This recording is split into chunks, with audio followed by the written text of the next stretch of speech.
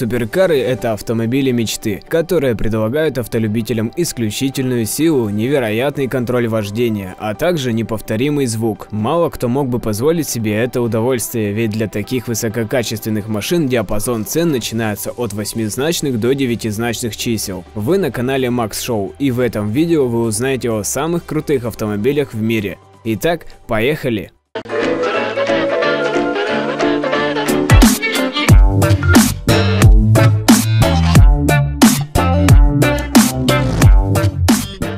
Чизетта V16T Итальянский суперкар, созданный компанией Cizetta Automobili. Концепт суперкара был создан в 1988 году экс-сотрудниками Lamborghini. Всего произведено около 20 штук. Cizetta V16T имеет большое сходство с Lamborghini Diablo, так как внешность обоих автомобилей создавал легендарный итальянский дизайнер Марчелло Гандини. Ценник на авто был назначен в размере 300 тысяч долларов. Хоть Cizetta V16 уже не производится, до сих пор есть возможность оформить оформить предзаказ на нее, правда без конкретных сроков его выполнения, и за 649 тысяч долларов. Альфа Ромео 33 Стрейдл Спортивный автомобиль, производившийся итальянской компанией Альфа Ромео, дорожная версия серии гоночных автомобилей. Компания создала автомобиль для того, чтобы сделать некоторые из гоночных технологий доступными обычным покупателям. Всего было построено 16 машин. Стрейдл была первой серийной машиной с дверями типа крылья бабочки. Автомобиль имел алюминиевый кузов на пространственной раме из алюминиевых труб. В списке 100 самых сексуальных автомобилей всех времен журнала Top Gear машина была представлена на 15 месте. Koenigsegg One Гиперкар производится компанией Koenigsegg, у которой соотношение массы и мощности автомобиля были равны 1 к 1. Одна лошадиная сила на 1 кг. Напомню, что масса автомобиля составляет 1300 кг. Кузов обладает таким весом благодаря тому, что он выполнен из углепластика. Именно из-за такого соотношения автомобиль был назван 1 к 1. Всего было выпущено 6 машин, и стоили они 2 миллиона 600 тысяч долларов, и все автомобили были проданы еще до официального дебюта. Mercedes-Benz CLK GTR Компания Mercedes-Benz создала экстремальный гоночный автомобиль, который бы сохранял некоторые элементы классического автомобиля, предназначенного для езды в городе. Кузов выполнили полностью из углеродного волокна, дополнив его большим числом элементов аэродинамического дизайна и охлаждающими отверстиями. Автомобиль оснащался 6,9-литровым двигателем мощностью более 600 лошадиных сил. Дорожная версия была выпущена ограниченным тиражом в 25 экземпляров. В книге рекордов Гиннесса 2000 года года CLK GTR записан как самый дорогой серийный автомобиль. Его стоимость на тот момент составляла 1 миллион 547 тысяч 620 долларов. Lamborghini Veneno итальянский суперкар, выпущенный ограниченной серии в 2013 году компанией Lamborghini. Кузов суперкара изготовлен полностью из углепластика, имеет множество воздухозаборников и основан на базе Lamborghini Aventador.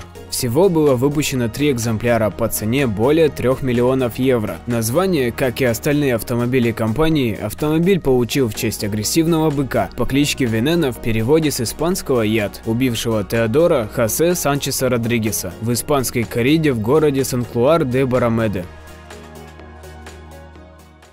Porsche 911 GT1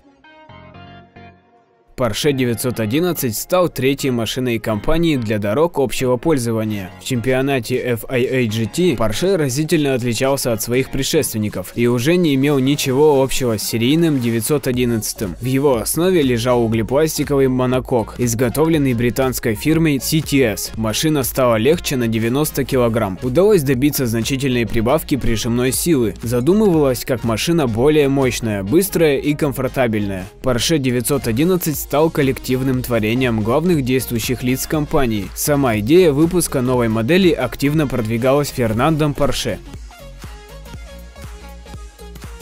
Макларен F1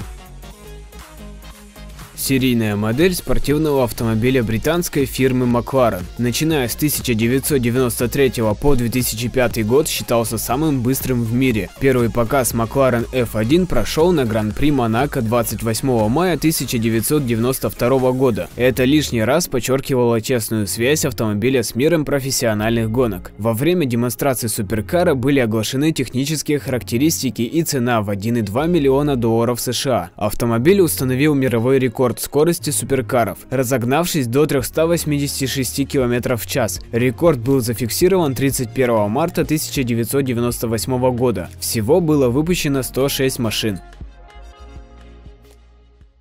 Pagani Zonda Revolution Дебют зонда, выпущенного компанией Pagani Automobili, состоялся еще в 1999 году. В 2013 году была представлена модель нового купе Zonda Revolution 2013, которая поставила финальную точку в истории эксклюзивного суперкара. Под капотом автомобиля расположился 12-цилиндровый агрегат AMG, объем которого 6 литров. Этот монстр способен выдать 800 лошадиных сил и 730 ньютон на метр крутящего момента, причем на тонну веса веса машины приходится 748 лошадок. Данный движок работает на пару с секвентальной шестиступенчатой трансмиссией, способной менять передачи всего за 12 миллисекунд. Цена суперкара составляет 2,2 миллиона евро. Компания планирует выпустить таких эксклюзивных суперкаров в количестве 5 экземпляров. Издера Commendatory 113i в 1993 году Издера разработала модель Commendatory 112i, которая весила 1450 кг и разгонялась от 0 до 100 км в час за 4,7 секунды, а ее максимальная скорость составляла 342 км в час. В основу машины был положен крупнейший двигатель Mercedes V12. Несмотря на использование механики Mercedes-Benz, Commendatory позаимствовал немало стилистических признаков от моделей Porsche, выпускавшихся ранее. Его длинный длинный задний свес похож на длинный хвост Porsche 917, а передние фары взяты с Porsche 968. Предполагалось, что Commendatore 112i будет выпущен ограниченной серией по цене 450 тысяч долларов США за единицу. 1962 Ferrari 250 GTO Автомобиль класса Gran Turismo, который производился компанией Ferrari с 1962 по 1964 год для участия в гонках FIA категории GT3. Ferrari 250 GTO оснащались 4-литровым двигателем мощностью 330 лошадиных сил. Новый GTO стоил 18 тысяч долларов США, и покупателя должен был одобрить лично Энцо Феррари и его представитель в Северной Америке Луиджи Чинетти. В период с 1962 по 1964 1963 год было выпущено 36 машин. В 2004 году журнал Sportscar International поместил GTO на восьмое место в списке лучших машин 60-х годов, а журнал Motor Trend Classic назвал ее лучшей Феррари из когда-либо выпущенных. Теперь каждый из этих раритетных спорткаров стоит по меньшей мере 15 миллионов долларов. На этом все, дорогие друзья. Если вам понравилось это видео, ставьте лайки, пишите комментарии и подписывайтесь на мой канал. И конечно же не забудьте нажать на колокольчик, чтобы не пропустить новые выпуски.